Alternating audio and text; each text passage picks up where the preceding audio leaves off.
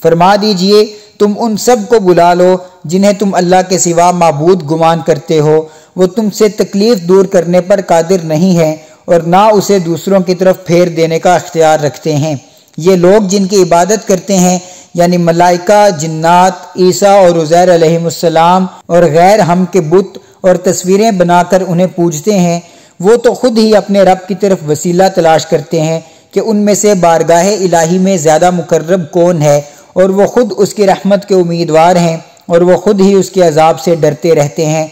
अब तुम ही बताओ कि वो मबूद कैसे हो सकते हैं? वो तो खुद मबूद बरहक के सामने झुक रहे हैं। बेशक आपके रब का अजाब डरने की चीज़ है।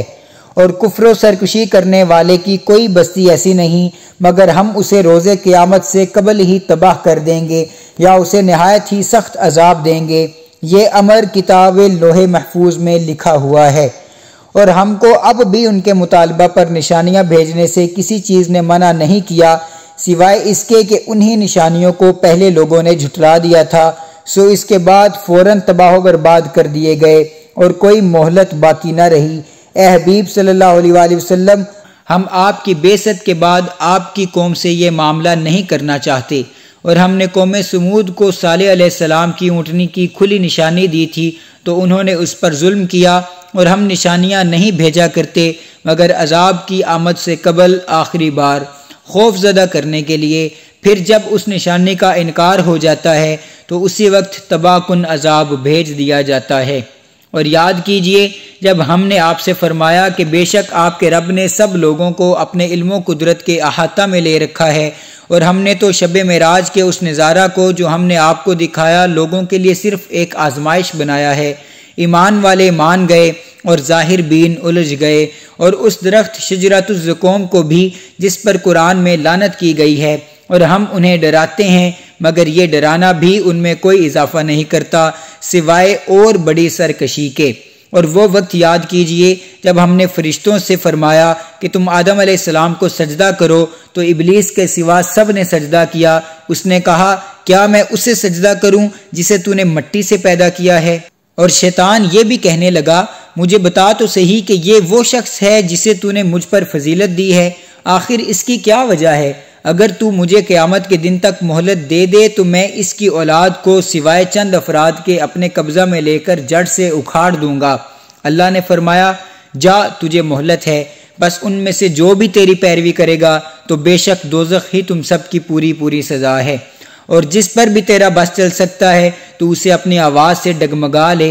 और उन पर अपनी फौज के सवार और प्यादा दस्तों को चढ़ा दे और उनके मालो औलाद में उनका शरीक बन जा और उनसे झूठे वादे कर और उनसे शैतान धोखा फरेब के सिवा कोई वादा नहीं करता। बेशक जो मेरे बंदे हैं, उन पर तेरा तसल्लुत नहीं हो सकेगा और तेरा रब उन अल्लाह वालों की कारसाजी के लिए काफ़ी है। तुम्हारा रब वो है जो समुंदर और दरिया में तुम्हारे लिए जहाज़ और कश्तियाँ रवां फरमाता है। ताकि तुम अंदरूनी और बैरूनी तजारत के ज़रिया उसका फजल यानी रिस्क तलाश करो। बेशक वो तुम पर बड़ा मेहरबान है। और जब समुंदर में तुम्हें कोई मुसीबत लाक होती है तो वो सब बुत तुम्हारे जहनों से गुम हो जाते हैं, जिनकी तुम परिस्तिश करते रहते हो, सिवाय उसी अल्लाह के, जिसे तुम उस वक्त याद करते हो। फिर जब वो अल्लाह तुम्हें बचाकर खुशकी की तरफ़ ले जाता है तो फिर उससे रू गर्दानी करने लगते हो, और इंसान बड़ा नाशुक्रा वाक़ हुआ है। क्या तुम इस बात से बेखौफ हो गए हो कि वो तुम्हें खुशकी के किनारे पर ही ज़मीन में धंसा दे या तुम पर पत्थर बरसाने वाली आंधी भेज दे, फिर तुम अपने लिए कोई कारसाज न पा सकोगे? या तुम इस बात से बेखौफ हो गए हो कि वो तुम्हें दोबारा उस समुंदर में पलटा कर ले जाए और तुम पर कश्तियाँ तोड़ देने वाली आंधी भेज दे, फिर तुम्हें उस कुफर के बायस जो तुम करते थे, समुंदर में गर्क कर दे? फिर तुम अपने लिए उस डुबोने पर हमसे मुआवजा करने वाला कोई नहीं पाओगे। और बेशक हमने बनी आदम को इज़्ज़त बख्शी और हमने उनको खुशकी और तरी यानी शहरों और सहराओं और समुंदरों और दरियाओं में मुख्तलिफ़ सवारियों पर सवार किया और हमने उन्हें पाकिज़ा चीज़ों से रिज्क अता किया और हमने उन्हें अक्सर मखलूक पर जिन्हें हमने पैदा किया है फजीलत देकर बरतर बना दिया। वो दिन याद करें जब हम लोगों के हर तबका को उनके पेशवा के साथ बुलाएँगे सो जिसे उसका नोश्ता या माल उसके दाएँ हाथ में दिया जाएगा, बस ये लोग अपना नामा अमाल मुसरत व शादमानी से पढ़ेंगे और उन पर धागे बराबर भी जुल्म नहीं किया जाएगा। और जो शख्स इस दुनिया में हक से अंधा रहा, सो वो आखिरत में भी अंधा और राह निजात से भटका रहेगा। और कुफ़ार तो यही चाहते थे कि आपको इस हुक्म इलाही से फेर दें, जिसकी हमने आपकी तरफ़ वही फरमाई है ताकि आप उस वही के सिवा हम पर कुछ और बातों को मंसूब कर दें और तब आपको अपना दोस्त बना लें। और अगर हमने आपको पहले ही से असमत नबूवत के ज़रिया साबित कदम ना बनाया होता तो तब भी आप उनकी तरफ़ अपने पाकिज़ा नफ्स और तबी इस्तात के बायस बहुत ही मामूली से झुकाव के करीब जाते, उनकी तरफ़ फिर भी ज़्यादा माइल ना होते और वो नाकाम रहते, मगर अल्लाह ने आपको असमत नबूवत के ज़रिया उस मामूली से मिलान के करीब जाने से भी महफूज फरमा लिया है। अगर बिलफर्ज आप माइल हो जाते तो उस वक्त हम आपको दो गुना मज़ा ज़िंदगी में और दो गुना मौत में छकाते, फिर आप अपने लिए भी हम पर कोई मददगार ना पाते। और कुफार ये भी चाहते थे कि आपके कदम सरजमीन मक्का से उखाड़ दें, ताकि वो आपको यहाँ से निकाल सकें और अगर बिलफर्ज ऐसा हो जाता तो उस वक्त वो खुद भी आपके पीछे थोड़ी सी मुद्दत के सिवा ठहर ना सकते। उन सब रसूलों के लिए अल्लाह का दस्तूर यही रहा है, जिन्हें हमने आपसे पहले भेजा था, और आप हमारे दस्तूर में कोई तब्दीली नहीं पाएँगे। आप सूरज ढलने से लेकर रात की तारीकी तक जहर, असर, मगरब और इशा की नमाज़ कायम फरमाया करें, और नमाज़ फजर का कुरान पढ़ना भी लाजिम कर लें। बेशक नमाज़ फजर के कुरान में फरिश्तों की हाजिरी होती है और हुजूरी भी नसीब होती है। और रात के कुछ हिस्सा में भी कुरान के साथ शब खेजी करते हुए नमाज़ तहजद पढ़ा करें। यह ख़ास आपके लिए ज़्यादा की गई है। यकीनन आपका रब आपको मकाम महमूद पर फायज फरमाएगा। यानी वो मकाम शफात उज़मा, जहाँ जुमला अव्वलिन आखिरीन आपकी तरफ़ रुजू और आपकी हमद करेंगे। और आप अपने रब के हुजूर ये अर्ज़ करते रहें ए मेरे रब, मुझे सच्चाई और खुशनुदी के साथ दाखिल फरमा और मुझे सच्चाई और खुशनुदी के साथ बाहर ले आ और मुझे अपनी जानब से मददगार, गलबा कुत फरमा दे। और फरमा दीजिए, हक आ गया और बातिल भाग गया। बेशक बातिल ने जायदो नाबूद ही हो जाना है। और हम कुरान में वो चीज़ नाजिल फरमा रहे हैं जो ईमान वालों के लिए शिफा और रहमत है और ालिमों के लिए तो सिर्फ़ नुकसान ही में इजाफा कर रहा है। और जब हम इंसान पर कोई इनाम फरमाते हैं तो वो शुक्र से गुरेज करता और पहलू तही कर जाता है। और जब उसे कोई तकलीफ़ पहुँच जाती है तो मायूस हो जाता है। गोया ना शाकर है, ना साबिर। फरमा दीजिए, हर कोई अपने अपने तरीका व फितरत पर अमल पैरा है, और आपका रब खूब जानता है कि सबसे ज़्यादा सीधी राह पर कौन है। और ये कुफार आपसे रूह के मुतलक सवाल करते हैं। फरमा दीजिए, रूह मेरे रब के अमर से है, और तुम्हें बहुत ही थोड़ा सा इल्म दिया गया है। और अगर हम चाहें तो इस किताब को जो हमने आपकी तरफ़ वही फरमाई है, लोगों के दिलों और तहरीरी नुस्खों से महव फरमा दें। फिर आप अपने लिए इस वही के ले जाने पर हमारी बारगाह में कोई वकालत करने वाला भी ना पाएँगे। मगर ये कि आपके रब की रहमत से हमने इसे कायम रखा है, बेशक ये आप पर और आपके वसीला से आपकी उम्मत पर उसका बहुत बड़ा फजल है। फरमा दीजिए, अगर तमाम इंसान और जिन्नात इस बात पर जमा हो जाएँ कि वो इस कुरान के मिसल कोई दूसरा कलाम बना लाएँगे तो भी वो इसकी मिसल नहीं ला सकते, अगरचे वो एक दूसरे के मददगार बन जाएँ। और बेशक हमने इस कुरान में लोगों के लिए हर तरह की मिसाल मुख्तलिफ़ तरीक़ों से बार बार बयान की है, मगर अक्सर लोगों ने उसे कबूल न किया, ये सिवाय नाशुक्री के और कुछ नहीं। और वो कुफ़ार मक्का कहते हैं कि हम आप पर हर गिज ईमान नहीं लाएँगे। यहाँ तक कि आप हमारे लिए ज़मीन से कोई चश्मा जारी कर दें, या आपके पास खजूरों और अंगूरों का कोई बाग हो तो आप उसके अंदर बहती हुई नहरें जारी कर दें। या जैसा कि आपका ख्याल है, हम पर अभी आसमान के चंद टुकड़े गिरा दें, या आप अल्लाह को और फरिश्तों को हमारे सामने ले आएँ, या आपका कोई सोने का घर हो जिसमें आप खूब ऐश से रहें, या आप आसमान पर चढ़ जाएँ फिर भी हम आपके आसमान में चढ़ जाने पर हरगिज ईमान नहीं लाएँगे। यहाँ तक कि आप वहाँ से हमारे ऊपर कोई किताब उतार लाएँ जिसे हम खुद पढ़ सकें। फरमा दीजिए, मेरा रब उन खराफात में उलझने से पाक है। मैं तो एक इंसान और अल्लाह का भेजा हुआ रसूल हूँ।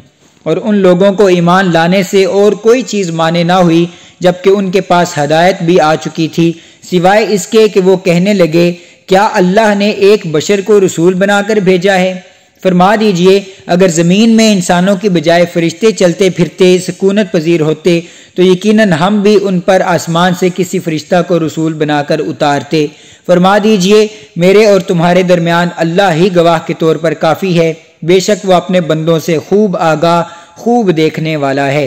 और अल्लाह जिसे हदायत फरमा दे तो वही हदायत याफ्ता है और जिसे वो गुमराह ठहरा दे तो आप उनके लिए उसके सिवा कोई मददगार नहीं पाएँगे और हम उन्हें कयामत के दिन ऊंधे मुँह उठाएँगे। इस हाल में कि वो अंधे, गूँगे और बहरे होंगे, उनका ठिकाना दोजख है। जब भी वो बुझने लगेगी, हम उन्हें अजाब देने के लिए और ज़्यादा भड़का देंगे। ये उन लोगों की सजा है। इस वजह से कि उन्होंने हमारी आयतों से कुफ्र किया और ये कहते रहे कि क्या जब हम मर कर बोसीदा हड्डियाँ और रेजा रेजा हो जाएँगे तो क्या हम अज सरे नो पैदा करके उठाए जाएँगे? क्या उन्होंने नहीं देखा कि जिस अल्लाह ने आसमानों और ज़मीन को पैदा फरमाया है, वो इस बात पर भी कादर है कि वो उन लोगों की मिसल दोबारा पैदा फरमा दे और उसने उनके लिए एक वक्त मुकर्र फरमा दिया है, जिसमें कोई शक नहीं। फिर भी जालिमों ने इनकार कर दिया है, मगर ये ना नाशुक्री है। फरमा दीजिए, अगर तुम मेरे रब की रहमत के हजानों के मालिक होते तो तब भी सब खर्च हो जाने के खौफ से तुम अपने हाथ रोके रखते, और इंसान बहुत ही तंग दिल और बखील वाक़ हुआ है। और बेशक हमने मूसा इस्लाम को नौ रोशन निशानियाँ दी तो आप बनी इसराइल से पूछिए, जब मूसा इस्लाम उनके पास आए तो फ़िरौन ने उनसे कहा, मैं तो यही ख्याल करता हूँ कि अब मूसा, तुम सहर ज़दा हो, तुम्हें जादू कर दिया गया है। मूसा इस्लाम ने फरमाया, तू दिल से जानता है कि इन निशानियों को किसी और ने नहीं उतारा, मगर आसमानों और ज़मीन के रब ने इबरत बसीरत बनाकर। और मैं तो यही ख्याल करता हूँ कि ए फ़िरौन, तू हलाकत ज़दा हो। तू जल्दी हलाक हुआ चाहता है। फिर फ़िरौन ने इरादा किया कि उनको, यानी मूसा सलाम और उनकी कौम को सरजमीन मिस्र से उखाड़ कर फेंक दे। बस हमने उसे और जो उसके साथ थे, सबको गर्क कर दिया। और हमने उसके बाद बनी इसराइल से फरमाया, तुम इस मुल्क में आबाद हो जाओ। फिर जब आखिरत का वादा आ जाएगा तो हम तुम सबको इकट्ठा समेट कर ले जाएँगे। और हक के साथ ही हमने इस कुरान को उतारा है और हक ही के साथ वो उतरा है। और हबीब मुकर्रम सल्लल्लाहु अलैहि वसल्लम, हमने आपको खुशबरी सुनाने वाला और डर सुनाने वाला ही बनाकर भेजा है। और कुरान को हमने जुदा जुदा करके उतारा ताकि आप उसे लोगों पर ठहर ठहर कर पढ़ें और हमने उसे रफ्ता रफ्ता हालात और मसाले के मुताबिक तदरीजन उतारा है। फरमा दीजिए, तुम इस पर ईमान लाओ या ना लाओ? बेशक जिन लोगों को इससे कबल इल्म किताब अता किया गया था, जब ये कुरान उन्हें पढ़कर सुनाया जाता है, वो ठोड़ियों के बल सजदा में गिर पड़ते हैं और कहते हैं, हमारा रब पाक है, बेशक हमारे रब का वादा पूरा होकर ही रहना था और ठोड़ियों के बल गिरफ्तारी करते हुए गिर जाते हैं और ये कुरान उनके खुशु हजू में मज़ीद इजाफा करता चला जाता है। फरमा दीजिए कि अल्लाह को पुकारो, या रहमान को पुकारो, जिस नाम से भी पुकारते हो। सब अच्छे नाम उसी के हैं, और ना अपनी नमाज़ में किरात बुलंद आवाज़ से करें, और ना बिल्कुल आहिस्ता पढ़ें, और दोनों के दरमियान मतदल रास्ता इख्तियार करें। और फरमाइए कि सब तारीफ़ें अल्लाह ही के लिए हैं, जिसने ना तो अपने लिए कोई बेटा बनाया, और ना ही उसकी सल्तनत व फरमा रवाई में कोई शरीक है, और ना कमज़ोरी के बायस उसका कोई मददगार है। ए हबीब अलैहि वसल्लम, आप उसी को बुज़ुर्ग तर जानकर उसके खूब बड़ाई बयान करते रहिए। बेशक, सच फरमाया, अल्लाह असमत वाले ने।